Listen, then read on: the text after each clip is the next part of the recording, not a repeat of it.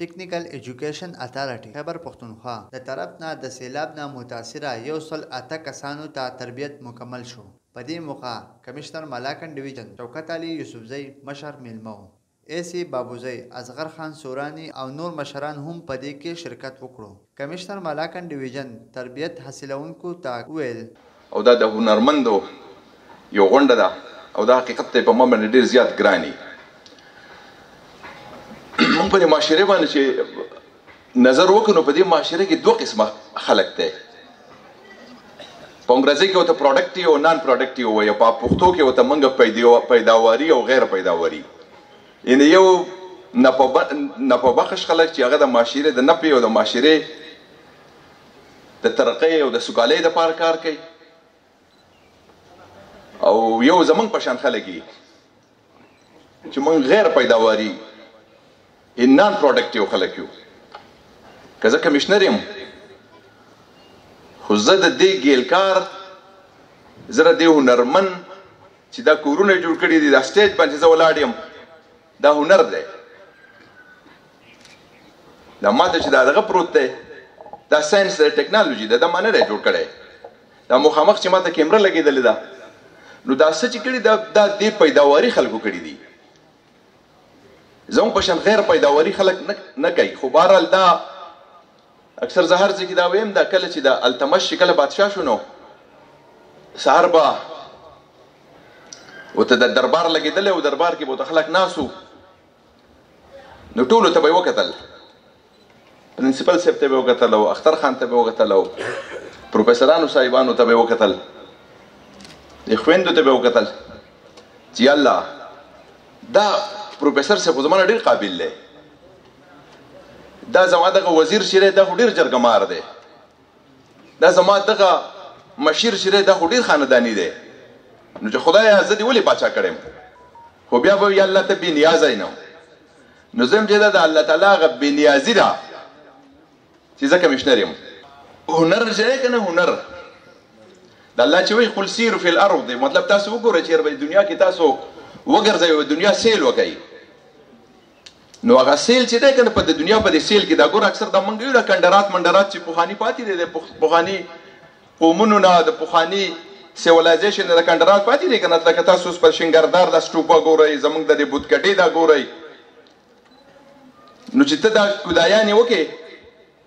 نو په دې کې داین زوم په دې کلی کې زور کوټه او مم اکثر د دغه تتلو د کلی ته نو حالت یو د خاوري او دغه او خلکو بوته خورګاډه وي نو هغه به خلکو کنو موږ په خپل هم کنو نو باغې کې بدن نه دغه رااله دنه وبکه بیا کټوي وا یا وبکه دنه ګلاس او یا وبکه دنه ساجبه جي بس دونه نو مطلب مې دا چې دا هنر چې دا دومره زور دی لکه څومره چې انسان په خپل زور دی ځکه انسان خو بخپله چې آدم علی السلام او هوا به چې کله جنت نه راتاو شنو مطلب خو بالکل به سر سامان ویس وسروم نو هوا تاسو ته ډیره پته چې آدم علی السلام په سریلانکا کې یو غر دی غیته اپلز دغه وای د اډمز ماونټن وته وای د آدم علی السلام غر زه په خپلم سریلانکا ته تلم خو هغه وخت زمونږ ډیر لګ دغه ورکوټه ونو ما ته پته نه و نو ما ته ویل چې آدم علیه السلام چې الله تعالی درکو نو دلته دی دی غر په سر دا کړو او بیا د خوش قسمت عجیب غوند خبره زما د بازه ما د ما د هوا به قبر هم کتل هوا به قبر چې په جده کې دی د جده ته چې جده جده نیا ته وي په عربی کې نو ما د نیا نکد وانه هغه زیګونه کتلی دي نو واچې راغلو نو مطلب بې سر سامان او کنه انسان ته خو بهر داسې نشي کېږي چې انسان خو لاندې غواړي چې زما لاندې څه انډېری وی یا څه څیزه به ما به دا کړی وی ما له مطلب څه لوښی پکار دی چې زه پکې څه خوراک وکړم ما له داسې لوښی پکار دی چې زه پکې اوبه وڅښم ما له جامې پکار دي لکه داسې وخت به د افریقا کې هم د بعضې ملکونو کې چې خلک تر اوسه پورې ځان پاڼې جا اوس خو چونکې دنیا سیولایز شوه د ځان پاڼې تاو کړي لکه جامې هم نه نو دا د چې د زمانې نه تاسو وګورئ د دنیا دا زاړه زاړه کوم تاسو دغه وګورئ سیولایزیشن چې دغه زاړه زاړه چې دغه د عیسی علی السلام د پیدایش نه مخکې هم دوه نیم زره کاله مخکې پخواني دغه دي لکه مطلب دا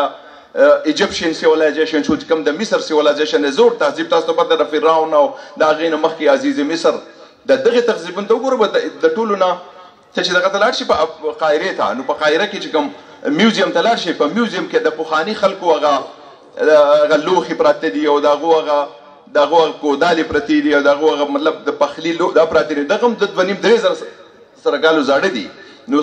مطلب مې دا چې دا د دنیا چې ده کنه د دنیا دا په دې خلکو په دا په تاسو باندې آباد ده تاسو له دنیا د ټول نه اهم خلک یې ما تاسو ته زمونږ دا زمونږ کورونه زمونږ دفتر زمونږ سړکونه زمونږ جامې زمونږ پیزار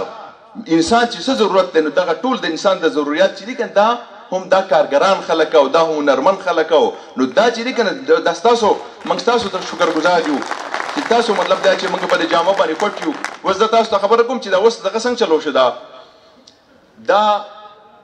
هنر خو ما تاسو ته وی چې انسان پیدا دی نو بس ځان لای خامخا د ضرورت لپاره خو سکړی دي خو بیا په اوولس سوه شپېتم کې په ستر سو ساټ کې سیونټین سکسټي کې په دې کې په برتانیه کې یو انقلاب راغی او هغه انقلاب ته ویل انډستریل ریولوشن لکه مخکې خو د اونرو خو چې کله دغه د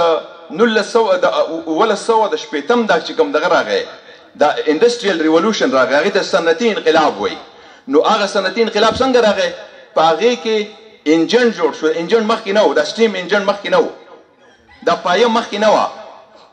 لکه جامع به خلکو جوړولې کنه لکه زموږ په سلامپور کې د زموږ د صدر صاحب خبر وکړه د سلامپور کې خلک دغه جوړې خو بخا په کډو باندې کار کوي د لاسو کارو د لاسو د خپو کارو کنه تاسو خو پوهیږئ چې څنګه جوړیږي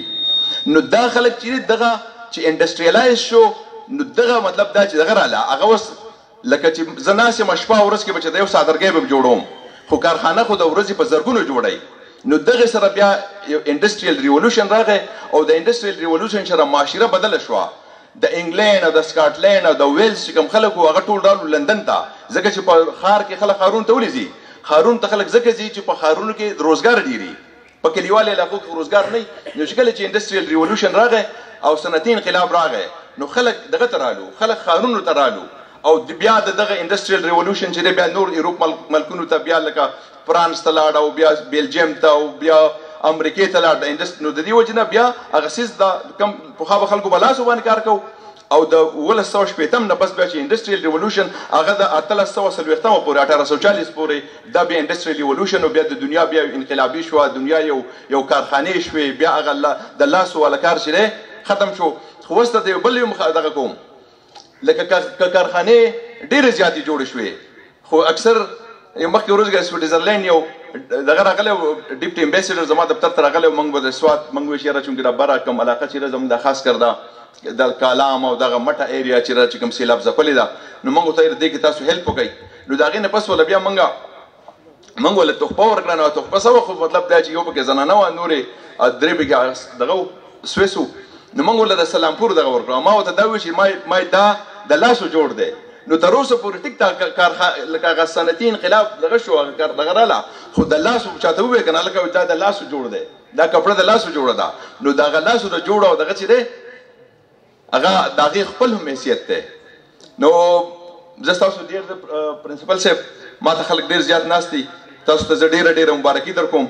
او تاسو الحمدلله هنرمن خو تاسو نه مخکې یئ مخکې نه تاسو هنرمن یئ مخکې تاسو الحمدلله عاقلان یئ پوه یئ او د ان شاء الله دا یو دی صدر صاحب هم وي مالشیر میا هم وي چې ګوره دا د لیبر مارکیټ چې دی کنه لکه لیبر چینیان ولې دونه د چینیانو څونه آبادی ده دا پوخا ټول اپیمیانو کله به په مطلب د جاپان حکومت او کله به برتانیې راتله او کله یو ملک د ځان یې چا نه شو خلاصولی نو چې کله د بیا هلته دغه راغی هغه موضع تینګه د دې په وخت کې چې کوم هغه لکه کمیونست ریولوشن راغی انقلاب چې راغی نو هغه هغو د انقلاب کې له د ټولو نه غټ کار یې دا وکړو چې ټول خلک هنرمن کړو ټول خلک یې تعلیم یافته کړو او دې ته دې ته بیسیکلي دې لکه انسان خو هر انسان دی خو چې لیونی هم بندری که نه خو بهر حال دغه چې دې ته په انګریزي کې وته هیومن کیپټل وای د دې انسانان نه سرمایه جوړ کړه و چې اونرمن سړی نه اونرمن سړی خو مطلب دا چې خپل ځانوم ساتي خپل کډم ساتي مطلب د دې نه علاوه چې اونري سکلی د غي سره دار چې معاشر اکانومي مضبوطيږي د غي سره روزګار زیاتيږي د غو سره پروډکټیویټي زیاتيږي نو روزګار چې د دې نو چنيانو چې لا ولنې په کمیونیزم کې د ټول نه زیات دغه سره هغه انویسټمنټ سره یا د ټول نه زیات دغه سره دا غو چې اټینشن او په دغه باندې توجه چې وا هغه په خلکو په سکل ډیولپمنٹ باندې وا خلکو ته ووکیشنل ټریننګ ورکولو چې د خلک پوه شي نن په دنیا کې ته ګوره دنیا کم ملک ته لاړ شي کته ویتنام ته لاړ شي او کته رس روسیا ته لاړ شي او کته امریکې ته لاړ شي ما د دنیا ډیر ملکونه بس دغه رزق می بس خور خور لګیدل نو زه اکثر لاړ شم چې راوالي هر شي چې رالي میډ ان چاینا د چین جوړ کنه نو دا سو چې هغه په خلکو باندې ملا غه هیومن کیپټل په خلکو په هنر باندې توجه ور کړی دا او د دغه وجه دا چې په دنیا کې وس چې ده کنه دا سیکنډ لارجسټ اکانومي ده د امریکې نه پس دویم معیشت چې مضبوط دی د چینیانو دی یورپیان خو مخکې نه خیر اډوانس خلک او مخکې ورځو کې مخکې زمانه نه مطلب دا چې دغه نو په تعلیم او په د هنر باندې هغه دغه ور کړی دی بیا دغه سي هغه لپاره قانون سازیان هم شوی دی لکه څنګه چې دا ټیوټا اکټ پرنسپل سیبو چې کوم